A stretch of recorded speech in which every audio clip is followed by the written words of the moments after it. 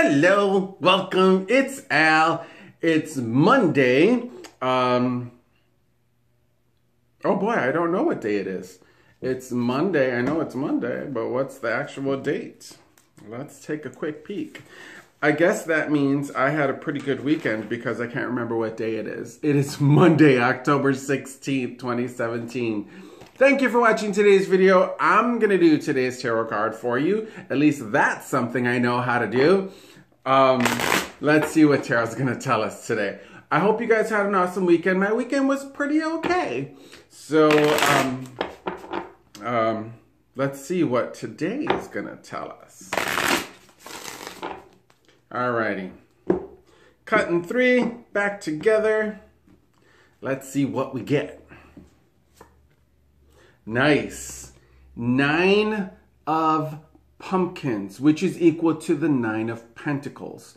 Now, with the nine of pumpkins, honestly, I'm going to tell you, you have every single thing you need in order to create success right there within you.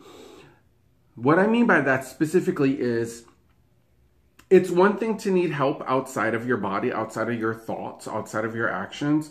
Needing help act, or, or guidance, that's one thing.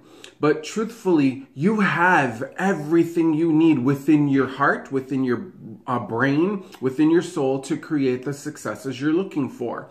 What you really need, and sometimes this is what most people need that is outside of themselves is a kick in the ass to get going in the right direction. That's the hard part. Motivation. That's that's something sometimes that's a difficult thing for people. But looking at the nine of uh, pumpkins, you can see this woman. She is glamorous. She's dressed to a T. She's in her beautiful garden with all those lush pumpkins around her. And she's talking to her little owl friend who's giving her all the support she needs. You can do this. And that's what I'm doing for you right here, right now. You can do this. Go make your dreams happen.